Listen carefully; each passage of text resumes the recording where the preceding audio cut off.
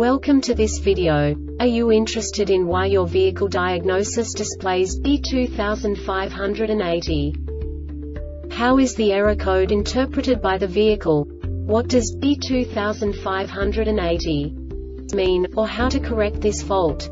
Today we will find answers to these questions together. Let's do this. First, let's look at the history of diagnostic fault code composition according to the OBD2 protocol, which is unified for all automakers since 2000. We divide the electric system of automobile into the four basic units. Powertrain, body, chassis, network. This distribution is defined in the first character code. If the second character is expressed as zero, it is a standardized error. In the case of numbers 1, 2, 3 it is a more prestigious expression of the car-specific error. The third character specifies a subset of errors. The distribution shown is valid only for the standardized DTC code. Only the last two characters define the specific fault of the group. Let's not forget that such a division is valid only if the other character code is expressed by the number 0. Our website airbagreset.sk produces useful videos for you. You do not have to go through the OBD2 protocol anymore to know how to troubleshoot any car breakdown. You will find all the diagnostic codes that can be diagnosed in a Dodge vehicles. Also many other useful things. The following demonstration will help you look into the world of software for car control units. You unbelievably can move the video a bit further. The error code is split into two bytes consisting of 16 bits. One bit is the basic unit that each computer works with. The bit has two logical states.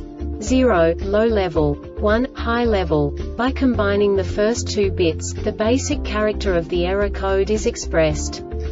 The next two bits again determine the second character.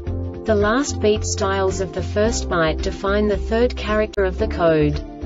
The second byte is composed of a combination of 8 bits. The first 4 bits determine the fourth character of the code. And the combination of the last 4 bits defines the fifth character. A single byte conceals 256 possible combinations. We now know in what way the diagnostic tool translates the received information into a more comprehensible format. The number itself does not make sense to us if we cannot assign information about it to what it actually expresses. So, what does the diagnostic trouble code B2580 interpret specifically Dodge car manufacturers? The basic definition is Driver window position sensors no signal. And now this is a short description of this DTC code. The window motor hall sensor does not generate a signal during a window movement. This diagnostic error occurs most often in these cases. Driver window hall sensor circuit faulty WIRINGDRIVER window MOTORDRIVER door module DDM the Airbag Reset website aims to provide information in 52 languages. Thank you for your attention and stay tuned for the next video.